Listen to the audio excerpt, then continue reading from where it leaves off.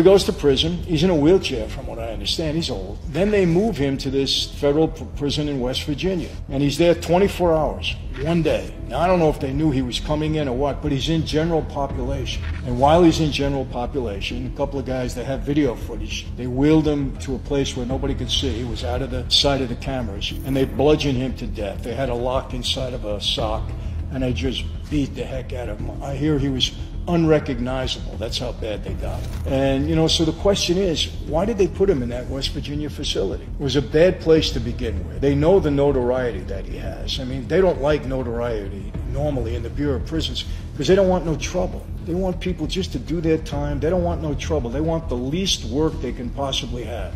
They don't want to fill out papers. They don't want to have to answer questions. They don't want investigations. They want no trouble.